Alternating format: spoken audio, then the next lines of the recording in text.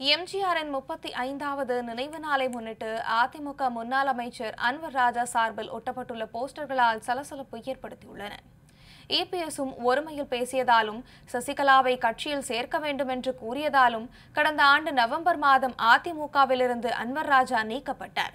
அதிமுகவின் நிறுவனர் எம்ஜிஆரின் முப்பத்தி ஐந்தாவது நினைவு நாள் வருகிற இருபத்தி நான்காம் தேதி அனுசரிக்கப்படும் நிலையில் அவரின் நினைவு நாளை முன்னிட்டு முன்னாள் அமைச்சர் அன்வர் ராஜா சார்பில் ராமநாதபுரம் மாவட்டத்தின் பல்வேறு இடங்களிலும் போஸ்டர்கள் ஒட்டப்பட்டுள்ளன.